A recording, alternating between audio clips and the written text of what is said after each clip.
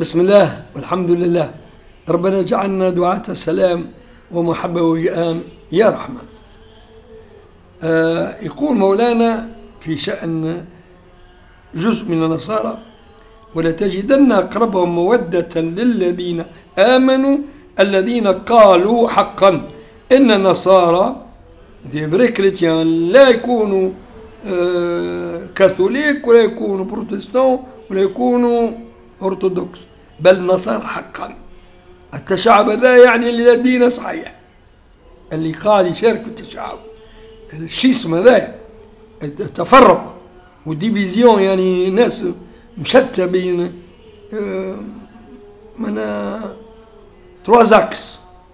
أكس كاثوليك الأغلبية وأكس آه بروتستان وأكس ارثوذكس هذا علامة اليوم في انقسام مشين ليس لهم دين يقبله الرحمن اللي هو صاحب الدين.